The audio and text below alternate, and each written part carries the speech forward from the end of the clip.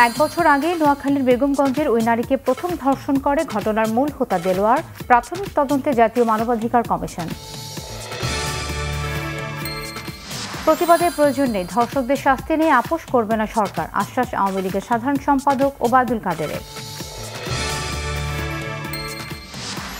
নোয়াখালীর বেগমগঞ্জে গৃহবধূকে বিবস্ত্র করে নির্যাতনের ঘটনায় আরও দুজন সহ মোট ছয়জন গ্রেফতার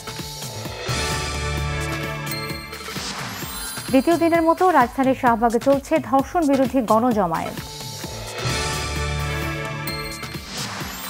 টিকিটের জন্য কারওয়ান বাজার ও মতিঝিলে বিমান বাংলাদেশের সামনে আজও জড়ো হয়েছেন সৌদি প্রবাসীরা।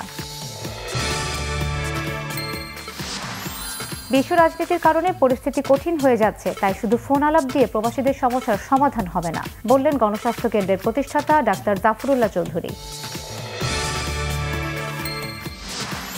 হাসপাতাল থেকে হোয়াইট হাউসে ফিরেছেন মার্কিন প্রেসিডেন্ট ডোনাল্ড ট্রাম্প।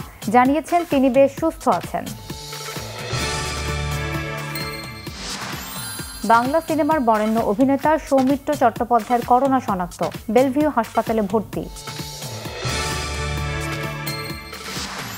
দিল্লির কাছে বিধ্বস্ত কোহলিদের বেঙ্গালুরু। উনষাট রানের জয়ে আয়াররা উঠল আইপিএলের শীর্ষে। ম্যানচেস্টার ইউনাইটেডে ঠাঁই নিলেন এডিনসন কাভানি ও অ্যালেক্স তেলেস